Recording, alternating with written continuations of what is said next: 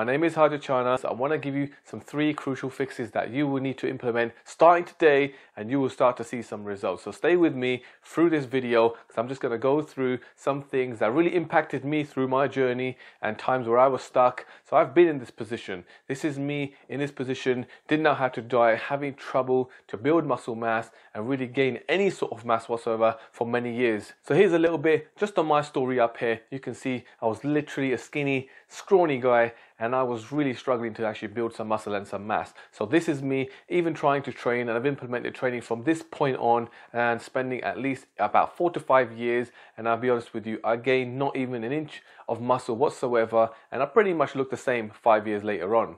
It was only when I started to research and put my passion in into fitness and going into being a personal trainer that I really started to gain a lot of knowledge and started to see from experience and speaking to a lot of big professionals and from that point on I managed to understand and how to build muscle and make life a lot more simpler and how to diet as well. So this is what happened eventually when I only spent just another few years doing the right things and eating the right way, training the right way, I managed to bring my physique from which I couldn't even shift for five years and suddenly in about three years I was in this particular physique position. So how do I do it guys? I'm just going to give you three crucial fixes first to go with that will definitely you can implement into your training starting today and I guarantee you you will start to see some results. Let's go and jump in to the first crucial fix that I can give you. First one is is the weight training itself. So your workouts. What are you doing with your workouts? I know time and time you're going in and you're working out. You may put a workout together, you may not, you may follow a plan, you're lifting, you think you've got to lift really heavy to gain some muscle mass, and you're really pushing yourself, and you're literally giving your heart out to the training, and you're still going to find that you're not getting any results. So if that's you, the reason for that is that you may be spending too much time in the gym. You may be spending somewhere around an hour and a half, two hours or more in the gym and not having the right plan of action as well on the type of training that you are doing. Because sometimes you may focus on certain areas of muscles and particular exercises and what you're really finding is that they're probably not the largest part of the muscles to actually give you a great body structure so you can really fill out, lean out and create some nice broadness onto your upper body. One of the things is with workout, you tend to emphasize too much on the particular workout, thinking that if you lift heavy weights, you constantly progress, get a little bit stronger, and that's probably most of the things that you'll ever see is that you get stronger, but you just don't see any visual change in the mirror when you look at yourself. And that's going to happen because most of the point, which we'll get to in the step two, which is going to be looking at the diet itself. But what you're going to find is when you're doing the workouts, is because you emphasize too much on the workout itself, thinking the more time you spend in the gym, the more you break down your muscle tissue, you think that the bigger you're going to build. And that's where is a massive flaw, and that's where I failed myself, and that's why regularly I never gained any results. So what I'm going to give you with this tip right now is making sure when you're doing your workouts, you don't need to be training more than at least 40 to 45 minutes when you're working on this muscular training because you need to understand that most of our carbohydrate source is the main energy use that we need to build our muscle when we break down. And it takes around about that 45 minutes of strength training to actually deplete that from your body. So when you are training any longer all you're going to find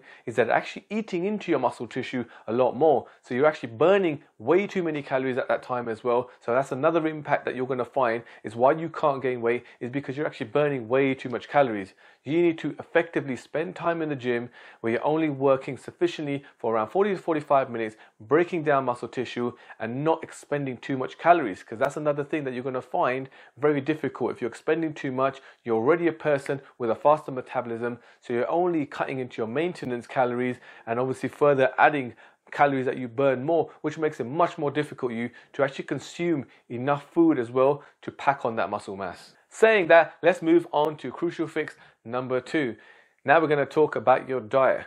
This is a big one because this is one of the biggest upset that I had through my training because most of the time, like I said, I focus mainly on the workouts myself and pushing hard and day to day. Uh, when you're going even five, six days a week in the gym and really focusing too much on the weight training itself and don't realize how much of the diet is important to actually build that muscle mass. But here's another problem right now. You may also find that you are eating enough food, you think you're eating so much day to day, and you're having really big meals and consuming so much calories way than you've ever done before. And you're still not packing on any muscle. you're still not packing on any size. You actually feel that you might still lose some size. And this again is indicated between both when I was talking about the first crucial fix here of the workout because you may be expending way too many calories, not just your maintenance calories, but on top of that, you're expending too much calories because you're working out way too much in the gym.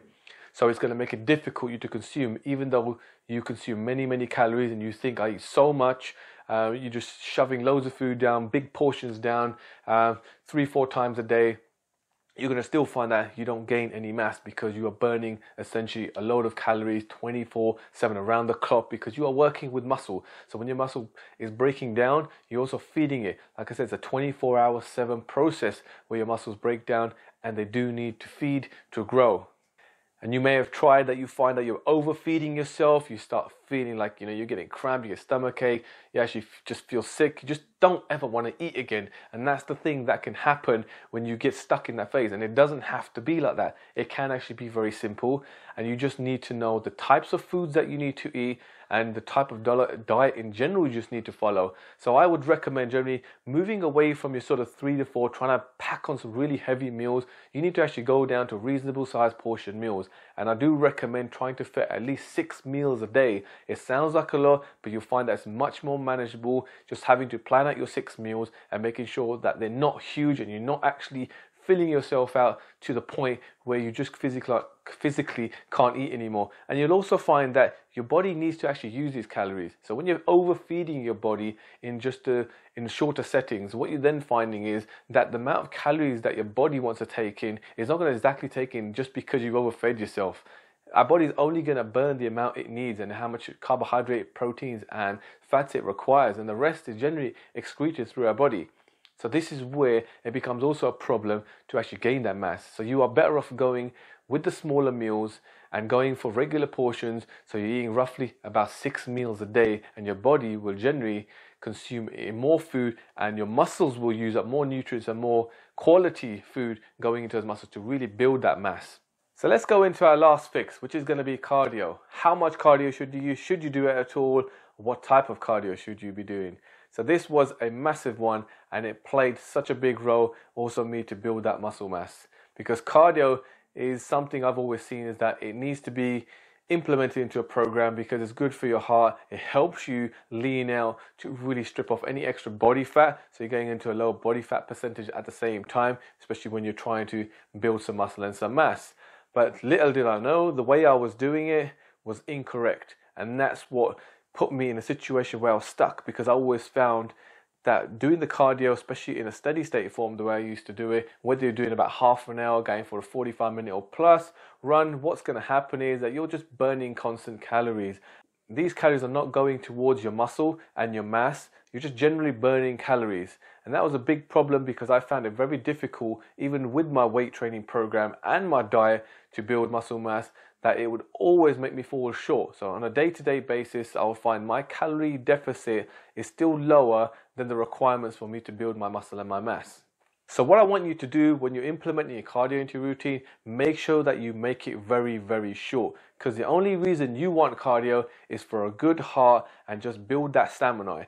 And to do that, you don't need to do anything more than roughly 10 to 15 minutes of cardio. You don't want to go into a state of steady state burning. Because when you go into that zone, what you're going to realize that your body actually uses up carbohydrates it uses up some muscle breakdown and that is a problem because they're actually going to make you smaller so really you're eating up you're eating into your muscle when you're doing too much cardio so that's what you want to bring back make it a lot shorter. So you want to do your cardio in a space of time before that zone kicks in. And so you want to be working out around about 10 to 15 minutes and make it more of a HIIT cardio than a steady state so guys, I recommend you taking these three fixes that I just went through and start implementing them into your day to day. You will start to see some results and really seeing a change to your body and start developing, getting broader, and it will make a real big difference just by adding these three things that I've just talked about.